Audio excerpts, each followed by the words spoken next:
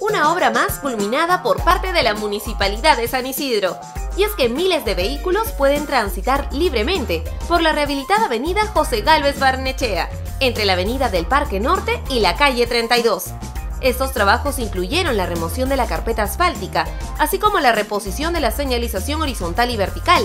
Son 10 cuadras las intervenidas. Y así como esta importante arteria, se finalizaron también los trabajos de rehabilitación en la avenida del Parque Norte, desde José Gálvez Barnechea hasta Guardia Civil, beneficiando a mejorar la circulación vehicular en toda esta zona sanisidrina.